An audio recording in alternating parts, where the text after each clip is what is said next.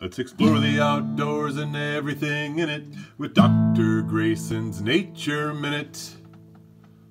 Hello everybody, it's Dr. Grayson. Welcome to Dr. Grayson's Nature Minute. We're on a walk here in San Diego and I happen to look on the side of the trail and it looks like maybe a, a passerby spit on the plants.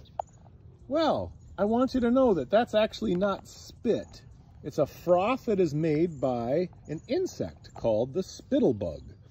So it creates this froth so that it can hide within there and things like birds will avoid it. So there's one over here. I'll, I'll blow the spittle away and we'll see if we can see the little insect inside.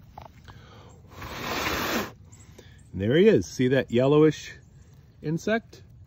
So it's a member of the uh, hemipteran bugs, which means it uses its mouth part, which is like a straw, to pierce the plumbing of the plant and then suck the plant's juices out.